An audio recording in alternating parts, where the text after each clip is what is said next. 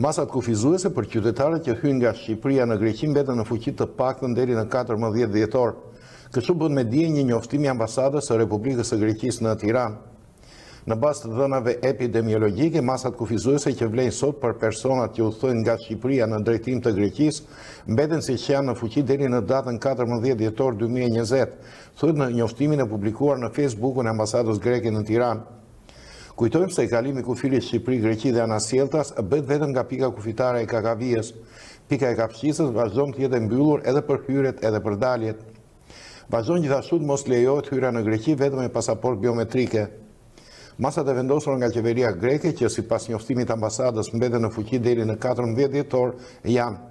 Nga Kakavija hyjnë vetëm qytetarët grekë, mbajtësit e lejes së qëndrimit si dhe për nevoja emergjente profesionale apo mjekësore. Kalimi lejohet nga ora 7 të mëngjesit deri në orën 23 të mbrëmjes, ndërsa mjetet e transportit kalojnë gjatë gjithë 24 orëshit. Lejohet hyrja maksimumi e 750 personave në ditë. Kush hyn nga Kakavija për shkak të ngarkesës së shtuar epidemiologjike që vërehet në Shqipëri, futet detyrimisht në karantinë 7 ditore në ambientet që ka deklaruar gjatë plotësimit të formularit PLF.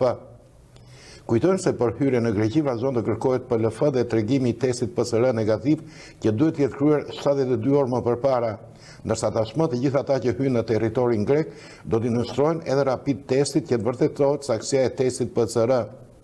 Për fund, kujtojmë që edhe pse njoftimi i ambasadës thotë që masat mbeten në fuqi deri në 14 dhjetor, nuk përjashtohet që ato të zgjaten edhe për një periudhë tjetër në varësi të ecurisë së pandemisë.